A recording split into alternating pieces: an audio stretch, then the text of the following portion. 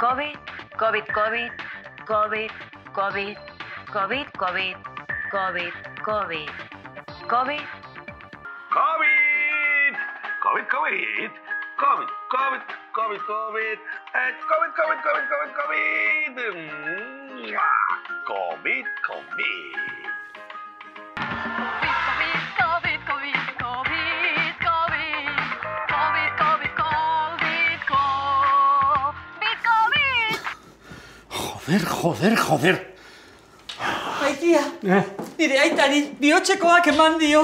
Eskerrak, komidarekin zer ikusirik ez duen zerbait azkenean. Uf.